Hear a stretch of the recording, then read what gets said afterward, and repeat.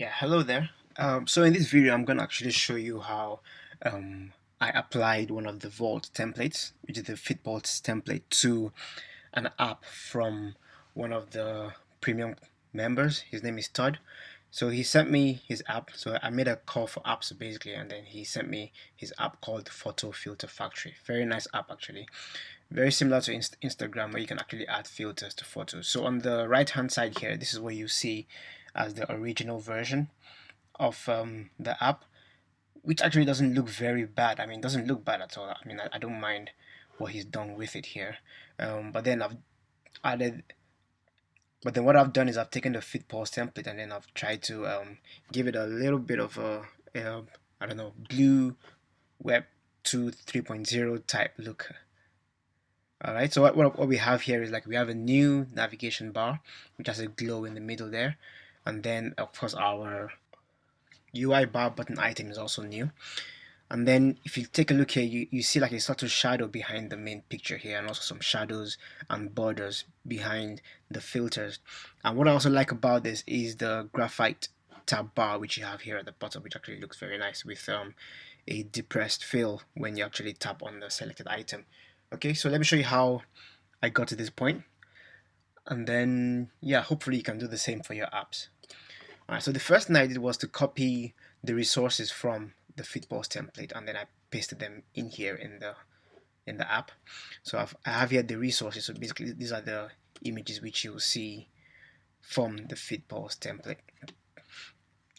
So they're all in there.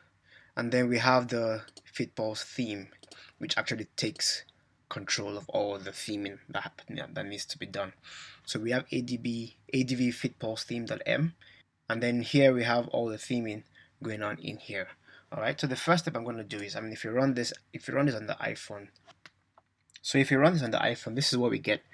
Um, here I've selected an image already, and then if I tap on the filters, they actually come up and I can scroll back and forth to choose a filter. Alright, so the first thing we're going to do is to um, apply the iOS appearance SDK or the iOS, the iOS appearance customizations to it. So if I go to the app delegate up here, and in the app delegate, um, I include the ADV theme.h, which is included there, and then I say ADV theme manager customize appearance. And then in the next step, I want to now customize the tab bar here. So what here, what I'm doing here is I'm, I'm taking the tab bar, all the items from the main view controller, and then, and then I'm applying the theme to it. Right. So here I've custom, I've done ADV theme manager customize tab bar item. So what this does is this customizes the general theme like the tab bars, the navigation bars, and the UI bar button item, and then this one customizes the tab bar items itself. So if you run that, let's see what we actually what shows up. Alright, so you can see we already have some nice changes here. We have a new navigation bar setup and we already have the a new UI bar button item, which you can see there on the reset button. And then our tab bar here, also you can see that has been modified as well. Okay, so now we have the um, the new tab bar and then the new and then the selected items actually show pop up as green, which is actually what is implemented in the Fitpulse template. So then the next step is the one to actually um, change the the background of the main view here and then change how these items in here look like right? Okay so let's do that next. So if I go into my PF frame view controller that's the main view controller where basically everything happens. So the first thing I want to do is uh, I want to add some shadows to the frame container. This is the frame container. That's the that's what that's what contains the images in here. So if I remove that okay. So what I've done here is I've set a gray border and then I've set the border to to 1 then I now have a couple of shadows actually one shadow which is about 0.6 white and then the shadow offset and then the shadow opacity. So that's what I'm going to set for that one. Then I'm also going to set um, and then the other thing I want to do is also we want to customize the ADV theme I'm sorry the self the view.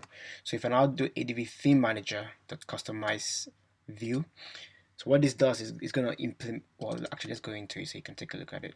So what this does, it just applies a new background to my view.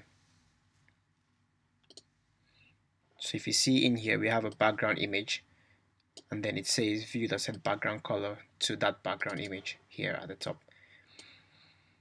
So depending on what you set, you can either set a background image or a background color, but this can always be changed, right? This is in the ADV theme manager. All right, so that's the first um, the first step. So the next step is I want to change the filter. So what we see down here. So basically the filter, each of the filter views. So right now, so PF filter view is actually the view that takes care of those filters. So what I want to now add is a couple of shadows there as well. So the first thing I'm going to do is uh, create, add a border color, so make that white, and then give it a two, a two pixel border, and then add a shadow, which is the gray shadow, and then the gray shadow has, I mean, it's going to be about two pixels to the left and then to the bottom and then the opacity is 1 and the last thing we do is to make sure we rasterize it so it, the scrolling becomes is not going to be choppy when we scroll along the filters okay so that's the first step and the next step is one I want to add a background view for my labels here what I think I mean this is just my I, I this is just my my preference right so we have some text over an image. Depending on what kind of image it is, the text may not actually show. So what I'm going to add here is a black transparent background. Actually, I'll show you here. A black transparent background behind the text, text just so that it's going to be easier to see that text, even if we have a very bright image that we are modifying. Okay, so that's what I'm going to do here. So I have a UI view, create that, then I set the background color to black which has 0, 0, 0 here and then the alpha is 0 0.5 so it's going to be like a see-through background and then I set the corner radius to the same corner radius which my other images or the image the image and the layers have. And then I add that to my subview right? And that's all I need to do for that. Okay then the last step is to change the font itself. So right now the font is uh, so right now there's a shadow for the font. So I mean initially there's a black sorry, a white font with a black shadow. So what I'm going to do is I'm going to remove that.